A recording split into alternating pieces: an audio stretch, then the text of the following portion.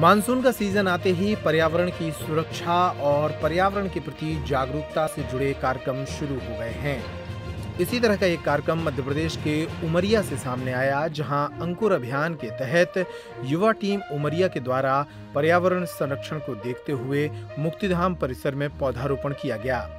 Virasani computer institute पाली के संस्थापक पवन संभर के अनुसार, जिस प्रकार शरीर को पोषण के लिए भोजन की आवश्यकता होती है, ठीक उसी तरह पर्यावरण को भी अपनी सुरक्षा के लिए पेड़ पौधों की ज़रूरत होती है।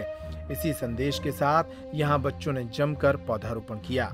युवा टीम के लीडर हिमांशु तिवारी ने कहा, हमारा उद्देश्य सुरक्षित स्थान पर पौधारोपण करना है, ताकि जो पौधे लगाए जाएँ, वह सुरक्षित भी रहें। इस कार्यक्रम के दौरान पाली थाना से आरक्षक दिलीप सिंह राठौर, नरेश प्रजापति, ज्योति विश्वकर्मा, प्रेरणा तिवारी, सुमन कुशवाहा खुशी सेन, चंचल साहू, सुलोचना गुप्ता, लक्ष्मी सिंह, पूजा परास्ते, शिवानी बर्मन, नुपुर चटर्जी, करण बैगा सहित अनेक लोग मौजूद रहे। कोविड काल में, और कोविड काल में आप सभी लोग जानते हैं कि हमने कई लोगों को खोया है, और खोया इसीलिए क्योंकि पर्यावरण संरक्षण हम लोगों ने नहीं किया है। तो इस पर हम सभी की गलतियाँ हैं, और इसी को ध्यान रखते हुए आज युवा टीम उमरिया के द्वारा कम से कम दो साल से पाँच हज़ार से ऊपर पौधे लगा चुके गए हैं और आज भी उसी उद्देश्य के साथ पर्यावरण संरक्षण को लेकर आज मुक्ति धाम पाली में दस पौधे लगाए गए और उसके संरक्षण का संकल्प लिया गया। अंकुर अभियान के अंतर्गत मुक्ति धाम बिरसिंहपुर पाली में दस वृक्ष रोपण किए गए।